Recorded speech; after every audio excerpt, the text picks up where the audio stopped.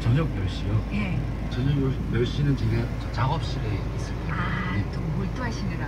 아, 그때 왔었구나. 아, 제가 못 봐가지고. 아, 아니, 정말 앨범에 박차를 가고 계시군요. 아, 네, 열심히 하고 있습니다. 뭐, 아니, 이러다 다음 달에 나오겠어요. 앨범 5월. 네, 과정은 중요하지 않다고 생각해요. 결과가 중요하기 때문에. 네, 네, 아이고, 예, 너무 좋은 음악 만들고 계시잖아요. 열심히 하겠습니다. 아, 기대합니다. 예. 오늘은 어떤 예, 음료 먼저부터 네, 아, 오늘 내 추천 음료는요. 내 마음 전하는 티 3종 세트 되겠습니다.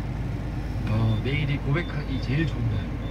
발렌타인데이만큼 네, 그런 고백들과 어울리는 곡들 골라봤습니다. 내일 누가 고백하는 거죠? 남자 여자 중에 어, 내일은 어, 여성분들이 어. 남성분들에게 고백하는 날. 아직